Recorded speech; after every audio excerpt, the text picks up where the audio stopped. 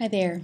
I've had a few requests to demonstrate how to create the APA document or set it up in the newer version of Pages for Mac. So I'm going to walk you through that. It's pretty quick and easy. It's just things are in a slightly different place than in the older version. So we'll start with the inspector. It doesn't show up as a little eye and a blue ball here anymore. It's actually this little paintbrush. So if you just click on that, it will open up that drawer. Now, if you have a version that doesn't show that, just go up to View, and you should see Inspector, and then Show or Hide Inspector will be right there. So we'll start by formatting the text in the body of the pair of the pages. So it starts with Helvetica, that's just what the default is. I'm going to change that to Times New Roman and make sure that it's a 12 point font. Then I'm going to center it because this is my cover page and I want to make sure that it's double spaced. So all of these controls are here on the right hand side in that little drawer. So I'm going to hit the return a few times to get it closer to the center of the page and the first thing I type is the title of my paper. Then I type my name, the course name, the professor, and the date. And after I do that, I'm going to insert a page break. And that will push me on to the top of the next page automatically.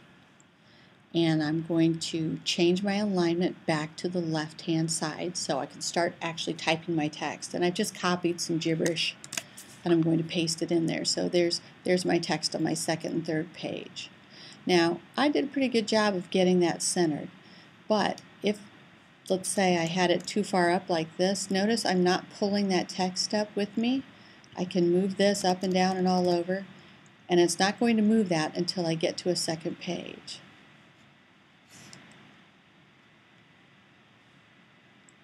And that's because I added that page break. So now let's get to the harder part, the headers. So if you just put your cursor up at the top of the page, you'll see those boxes appear. And the first thing I'll do is I'll start typing, instead that says insert page number, but I'm not going to do that. I'm going to type my running head. Got to change that to Times New Roman again. And you type the words running head with a colon, and only the R is capitalized. And then you hit that caps lock and type the title. If it's a really long title, then limit it to the first four or five words or the first 40 to 50 characters.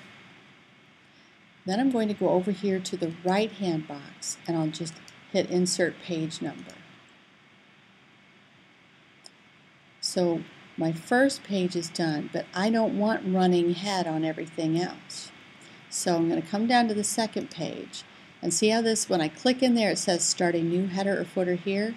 Click that little button and then just go in and delete the part that you don't want and you should be good to go. Now it's all set up.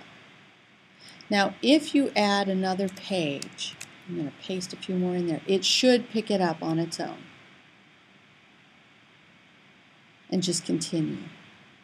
But it's that simple. And now you can save your document and finish your scholarship and you're ready to go.